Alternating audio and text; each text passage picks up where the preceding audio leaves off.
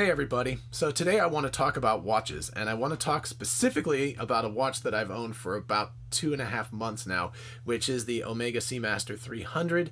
This is the new reference version. I when I flip the camera, I'll give you the reference version. I don't remember it offhand. It's like this long, so it's very big. But anyways, the 2018 version with the new laser cut wave dial and ceramic and all of that kind of stuff. I've got it on a rubber strap today so that I can show you the back of the watch um, more easily. On the bracelet, you can't see it, but it comes with this lovely steel bracelet, and I'll, of course, show close-ups and so forth as we go if you want to see more about all of the watches that I own and uh, think about the question of is an expensive watch worth it because this is a very expensive watch, no question about that, then you should watch the video. I will leave the link in the description and it's like a half hour video that goes through watches anywhere from like the $50 range up to, you know, the $5,000 range. So basically two orders of magnitude and what advantages do you get out of watches at the higher price versus the lower price and so forth.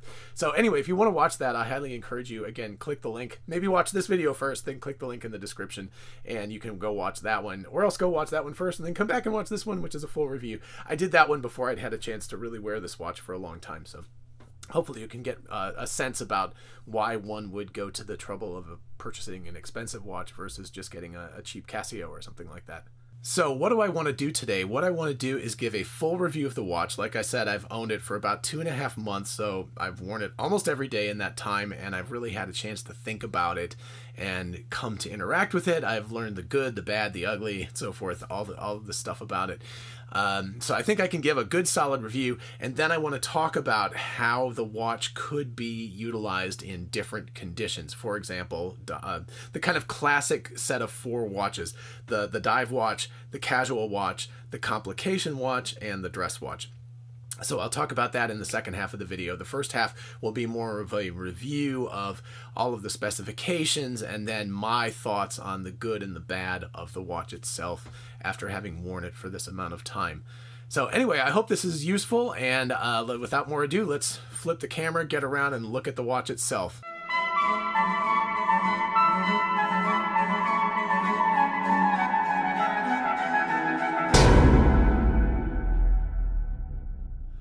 Right, so let's take a look at this Omega Seamaster 300. Uh, first, I suppose I should do a quick wristwatch check. I'm not wearing the Omega Seamaster because I'm reviewing it.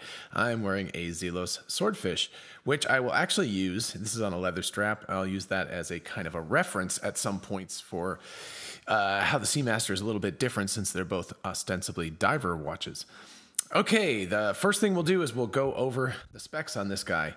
Uh, the first one is the reference number, and I don't know what's up with Omega and their reference numbers, but it's 210.30.42.20.01.001. That's a mouthful. so anyway, I'll put all this information in the description so that you can just uh, check it really quickly. Also, forgive my puppy. Um, we have a new puppy in the house, so if she's yawning and making noise, forgive that during the review. Um, okay, so in terms of what makes up this watch, there you can see it's a caliber 8800, which is a free sprung coaxial movement, completely in house design. There's a three quarter bridge there, and you can see the balance bridge right there. Uh, it has two certifications. It has COSC certification, which is common for Swiss watches, and it also has METAS certification, which is something that Omega has sort of cooked up with the meteorology um, standards. I can't remember what it's called in French, but something in French that has to do with meteorology, and they basically have an, their own standards, which um, has a lot to do with the uh, master chronometer um, certification down there. You can see if we look at it again, I'll throw in some uh, macro, really close up macro shots so you can see this. This is currently on a rubber strap, which is not an Omega strap. The reason why is because I wanted to be able to show off this lovely back, which is a sapphire coated crystal. I mean, excuse me, it's a sapphire crystal. the front has anti-reflective coating. I don't believe the back does, but anyway, uh, so that you can see the lovely movement underneath it and also some specifications. This is a 300 meter diver, which actually means that for the certification testing, it was tested to 375 meters. This individual watch was, so every single watch was tested. I'll get into that in just a minute. Um, this was also tested for master chronometer certification, which again is down there. You can see there's a master chronometer certification, which means it had to be between zero and plus five seconds per day. This individual watch tested to 3.5 seconds per day. And uh, damn if that's not accurate. That's exactly what it runs at pretty much every day. This movement also features completely amagnetic materials, which means that the balance spring is um, silicon, and the other components that are critical to the timekeeping are also amagnetic up to 15,000 Gauss, which apparently is somewhere around the uh, the uh, magnetic field of an MRI machine. So you should pretty much never have to worry about your watch being magnetized or anything like that. The watch is automatic, hacking, and hand winding, so that's just kind of good basic stuff. It is also a coaxial movement, which is completely unique to Omega. Um, watchmaker George Daniels in the 1970s came up with the idea for a different type of movement as opposed to the traditional Swiss lever escapement movement, and he worked on that for years, and Omega ended up uh, continuing the work, and they have uh, obviously commercially produced this product, which is pretty fantastic. So it's an entirely different and um, more long lasting movement than traditional movements are. Also, all aspects of this watch are tested individually, and interestingly enough, you can put in the serial number of the watch and you can actually find out what your watch did in terms of testing, which is pretty cool. That's kind of fun stuff to have with the modern world. Okay, as for the dimensions and so forth, the width is 42 millimeters, or the diameter if you want to put it that way. The lug to lug, which is these two guys here, is 47 millimeters. The height, this direction, is 14 millimeters. The lug width is 20 millimeters which uh, well i'll get into it later but that, that's an interesting aspect of it. The weight of this watch with the steel bracelet notice i don't have that on right now because i'm trying to show off the back of this but anyway with the steel bracelet the weight is 191 grams which is a pretty hefty watch for sure uh, the head of the watch, all by itself, just this part, is 84 grams, and on a lightweight rubber strap like this, it's a mere 98 grams. So actually, the uh, the steel bracelet makes it a substantially heavier watch. So if you want just a light watch that you know is easy to move around and so forth, this is definitely it. Although it does tend to weigh a little bit more on the head if it's got a, lighter uh, bracelet like this, but it's really not that big a deal. It feels feels very comfortable in any case. Um, this watch, on the other hand, is a little bit more hefty, and it it definitely feels a little top heavy sometimes. So, just as a comparison. All right, again, the case back here is a clear sapphire, which shows the movement off. Uh, unfortunately, because of the three quarter uh, backplate here, you can't really see that much. You can see the bridge and you can see the movement, which is very cool.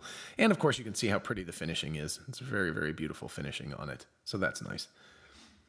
The bracelet and the case are both uh, stainless steel, uh, 316L maybe. I don't know. don't know which kind it is, but it's definitely a stainless steel. So it should, you know, it could get scratched up over time, but it will definitely not lose its luster or get tarnished or anything like that. So that's lovely. The face is a zirconium dioxide, which is a type of ceramic, and it's very difficult to see indoors. You can kind of see the wave pattern and so forth, but outside in the sunlight, it is just smashing. I mean, it's it's one of those things. I look at my watch outside, and I, I kind of want to stop on the street and just kind of stare at it, and it's very embarrassing. Actually, it's a little bit weird and funky, but anyway, I'll put in some shots of it outdoors. It's very, very beautiful. There are many other colors to this watch. This is a black on black, of course. You can get a blue color, which is beautiful. You can get a gray.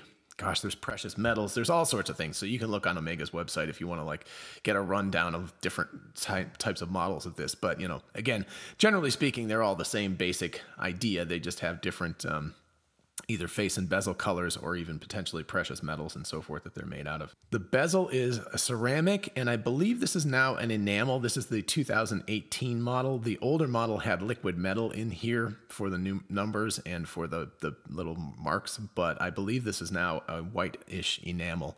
So it's a slightly different look. It's very, very pretty. It's absolutely beautiful. It should be completely robust and should last forever, essentially. The crystal is a very, very slightly domed sapphire crystal with anti reflective coating inside and out, which is lovely. And of course, it's a dive watch. It has a screw down crown, which hacks and hand winds and so forth. It has a date complication at the six o'clock position. I really appreciate the six o'clock position. It's very balanced and so forth. Obviously, has a helium escape valve, which is a, a divisive item for many, many people with this particular watch. It also has a, a unidirectional 120 click rotating bezel so you can actually turn it. Uh, notice the different kind of grip. It's not the standard coin edge that you would see with most things. Again, just as a comparison, this guy has more of a, it's not really coin edge, but it has more of a side grip, so you would pick it up. Very, this is much, much harder to spin this one.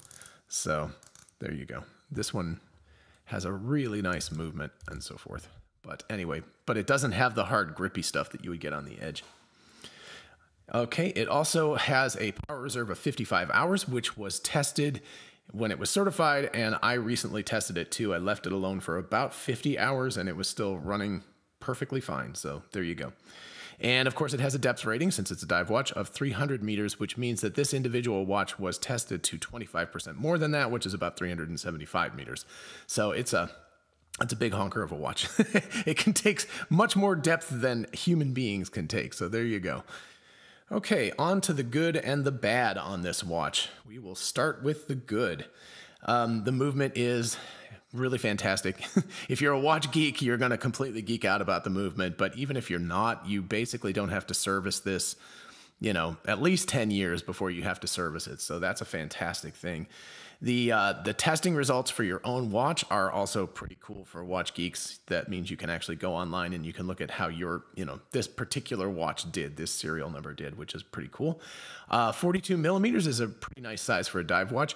This is up slightly. I believe that the old version with which had the flat face. Um, was 41 millimeters, so it's just a hair bigger than the old one was and it's also not too tall for a dive watch. Considering the uh, the original coaxial movements were pretty thick, this is this is nice that they've actually got this down to not a terribly um, uh, tall watch anymore. So that's not bad.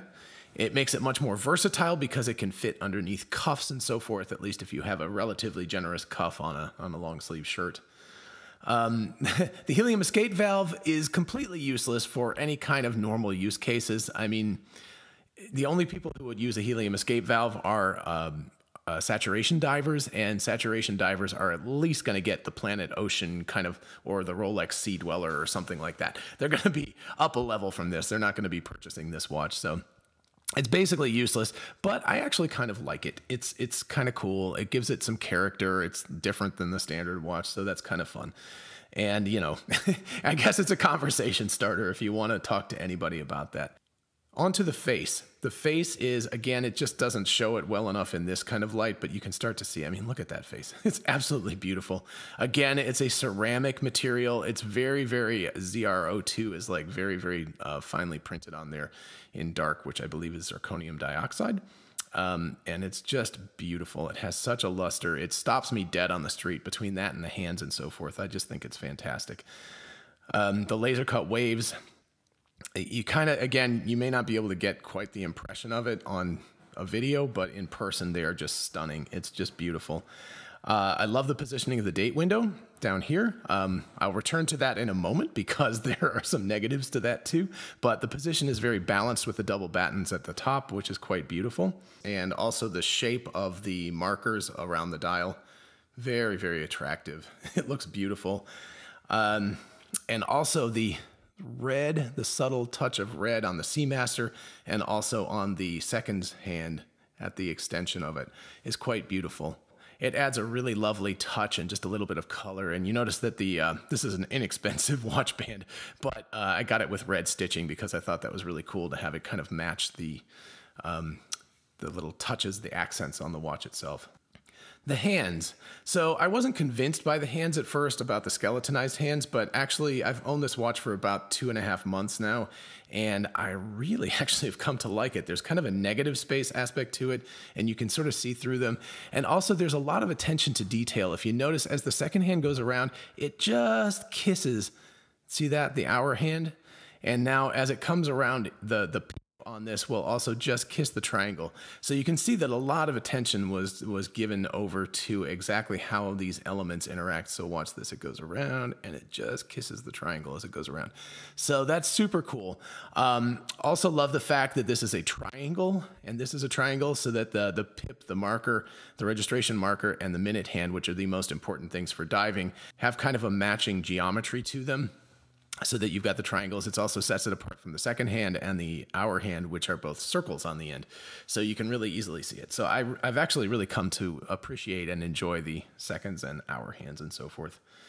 Uh, it's very distinct even in the dark. The lume on the on the face and the lume on the hands are quite beautiful. There's kind of this pale blue white color, except for the minute hand and the pip um, the registration pip, both of those are kind of a greenish color. So it sets them off again so that there's this kind of subtle differentiation. I'm going to get back to this pip on the bad. so hold on to that thought for a moment.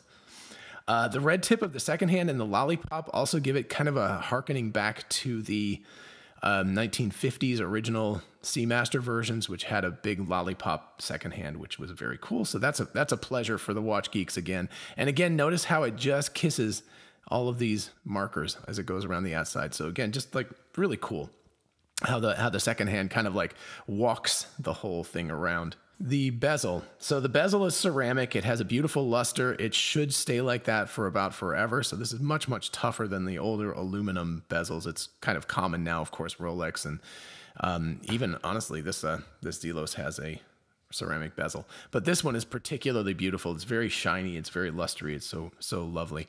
Um, the bezel edge is not ideal for gripping, but you kind of press down instead of gripping sideways. You press down, and it the the action is just beautiful. And also. Um, the registration is beautiful. Let's see if I can. there we go. The registration is beautiful, and it, this this shape, as opposed to the coin edge, gives it more versatility, which again I will get to in the next section of this video. So I think it has a really nice aspect to it. it. It's a little bit of a disappointment in terms of like I guess if you were diving with wet hands and gloves, but I've actually used this for diving and it worked, so it was okay. Um, surprisingly enough, it was not as bad. Now I was diving in the tropics, so you know I didn't have to have gloves and heavy stuff. If I did, I probably would want something with a little more grip to it, but it worked very well for for what I was doing. Uh, I also like the fact that the registration mark is a triangle. It makes it very obvious. But again, I will get back to that on the negative. Okay, so the bracelet. Again, I will show some pictures since I don't have that on the watch right now. The bracelet is just amazing the micro adjustment on the back of it just rocks. It's it's such a cool micro adjustment.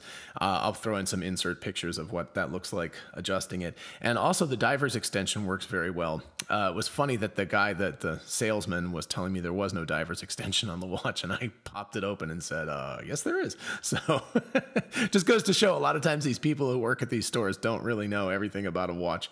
Um, again, this is a relatively new watch, the model and so forth. But anyway, but the micro adjust by itself, I've used a ton of times because it's really nice to be able to adjust for your. I have a seven and a half inch wrist. And as the weather gets warmer or colder, it shrinks and goes back. And, you know, so anyway, it's just nice to be able to adjust it as you go. Um, I have used the Rolex micro adjustment in the store, but I've never obviously owned a Rolex, so I don't know how that would work day to day. But certainly, I feel like the Omega is on par with that, so that's really nice.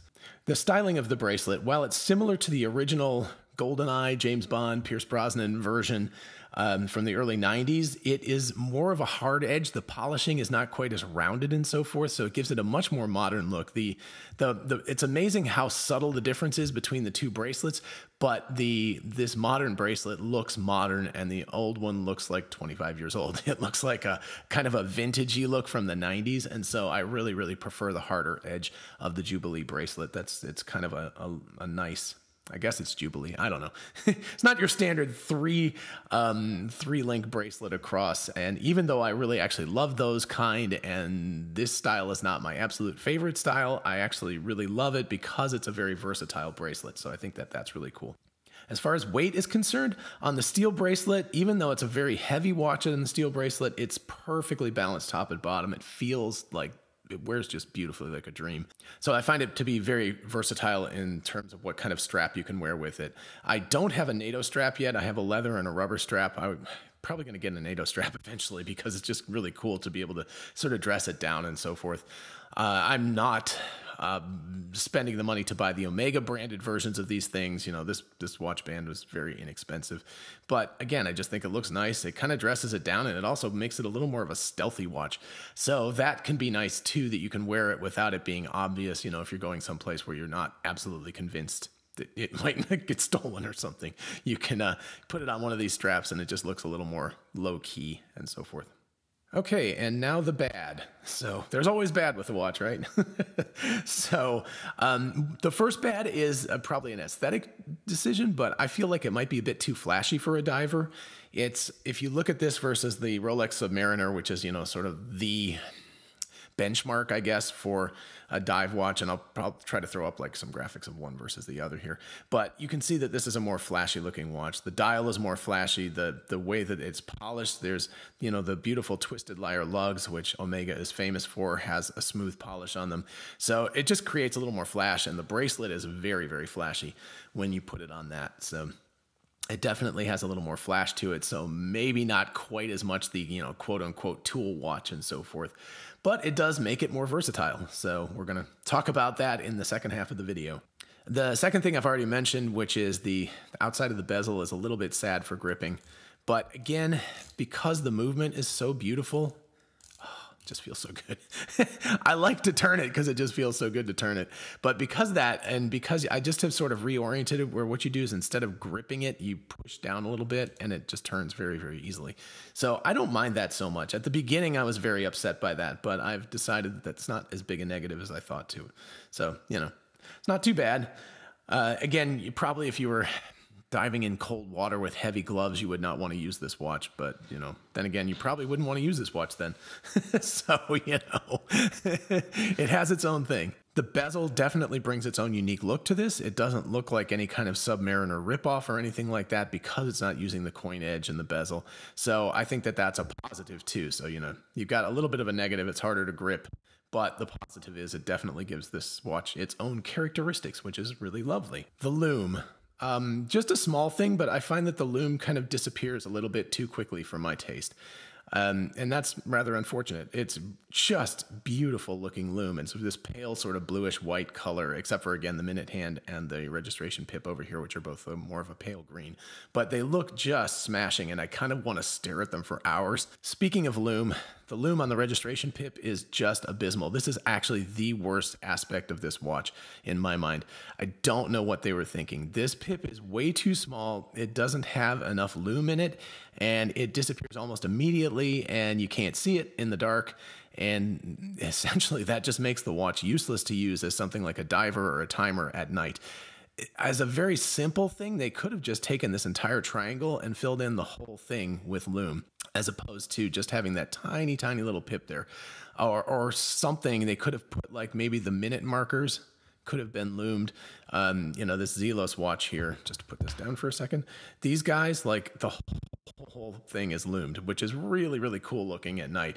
Um, and so it's kind of sad. I, again, I for aesthetic reasons and for longevity reasons and so forth, I can understand them not doing this, but there is no excuse for not getting this pip better. That that's just it's just abysmal. And honestly, it's the reason, only reason why I would even think about selling this watch and getting something else was because of this lume, this pip. It's it's just that bad. Uh, and I don't know, maybe maybe that's just me. Maybe it's the way I use it. Maybe it's because I'm imagining going from blackwater diving somewhere or something like that. But that really really bugs me. Okay, another thing that's a, a problematic area is uh, I love the fact that the date window's at six o'clock, and I understand why they made it this size because it matches the marker size, but it's too bloody small. Um, it's very very difficult to read this in low light. It's easy enough in the sun, no problem, but in, in, you know in low light or if you're at a weird angle like this, it's just hard to see. And if, especially as you get up into the 20s, like 25 or something like that, that's a lot of information to put in this tiny little window. When it's just one digit, when it's like an eight or something, it's pretty easy to see, but two digits is very, very difficult. Um, I think one solution obviously would have been to make this bigger. Ironically, I think a Cyclops like Rolex has would actually be really, really useful on this watch, but I really hate Cyclopses, so don't do that, Omega. you could have made this bigger. Uh, another option would have honestly been to lume these numbers, right? Just a little bit of lume on them would have meant like if you kind of cover it up like that, that you would be able to see the the numbers kind of glowing, which would be super cool. And how unique would that be to have a glowing date? That that would be awesome. So next round, Omega, you should do that for sure. And finally, on this, the positioning of the crowns. Um, I I find it annoying that they're offset like this. I, I wish that, you know, if they're going to have the helium escape valve, which again, I don't mind that much, why would they not have put the, the screw down crown the main crown at four o'clock here, right? So it's split across this. That would have looked really, really cool. It also would take the crown out of the way of your wrist so that it wouldn't potentially hit your wrists, which would also be cool. I don't know. I think that because they make a chronograph version also, that they have, you know, the the pushers, the the start, stop, and reset pushers, like on the Speedmaster or something like that. Perhaps because they make that, they've decided that they don't really want to move the crown for this model and put it back in the middle for the others. But I do find it a little unfortunate that they're not somehow more symmetrical, considering especially that the um, the date and the double battens window were made symmetrical. But you know, my thoughts. Who knows? They had their own reasons, I'm sure. Speaking of the chronograph version, there is a beautiful kind of rose gold version. I'll throw up a picture of it online, but man, that is a that's a pretty looking watch. It, it's a little bit more busy, but I would take that watch in a heartbeat. All right, on to answering the question of the day: Is this the one watch to rule them all? And what I mean by that is, is this watch so versatile that you could have this as your only watch in your collection? So you just would have a one watch collection, just the Omega Seamaster, and that would do everything you needed, and it would co- cover all of the basics that most people would have in their watch collection. So I think that's an interesting question. So let's just consider this versus, again, the Zelos Swordfish. This is lovely. It's in bra- uh, bronze, and you can see that it's got like a patina on it and so forth. This isn't that old, actually. It's just got a nice patina, so it's very lovely. But this is a pretty thick watch. This is a, you know, it's it's tool like, it's very solid excellent dive watch, you know, in terms of the look and so forth, but not very versatile. It's you you can't wear this to like some sort of fancy formal event. That just doesn't look right at all. So it's not like that. So let's think about this for the kind of classic categories. There's the dive watch, number one, and that's what this ostensibly is. So you've got that. It's there's the casual watch, which is kind of the everyday beater watch. There's the complication watch, and there's the dress watch. Those are kind of the four big categories of watches. So let's look at this and think about how this works for each one of these. Okay, so compare this to a Rolex Submariner, which would be the kind of again the the benchmark of this category. The Submariner is much less dressy looking, it's much more restricted in terms of its styling, but it probably makes a better dive watch, better tool watch looking watch. Um, you know, this is great as a diver, but it's a little on the flashy side. And it's also they've they've sacrificed usability in terms of the bezel and rotation and so forth for the kind of look of it, right? So again, this is not quite as easy to grip as it could be. Again, it's not as bad as I thought it was going to be, and I've grown to like it a lot, but it's not quite as tool watch as it could be. Um, and then, you know, again, the big problem this guy right here, this pip. like what the hell were they thinking that is abysmal it's just so bad and the, and the, the lume on it is so bad in the daylight hours perfectly fine no sweat at all but at night it's just not very useful so uh, a, a, good diver, a solid diver. I've worn it diving. It works perfectly well as a backup to my computer. All great, but it's not the perfect diver. Okay, on to the casual watch. So Again, it's a bit flashy for a casual watch, but with a strap like this, or man, especially a NATO strap or something, I think this actually does pretty well as a casual watch. Um, again, a tad on the flashy side for that, but I think really that dresses it down. This, you know, this doesn't look that flashy with a with a rubber strap on it, so it's it, it tones it down quite a bit. So I think with a NATO especially, you could really dress this down and make it a, a good serviceable casual watch, something like that.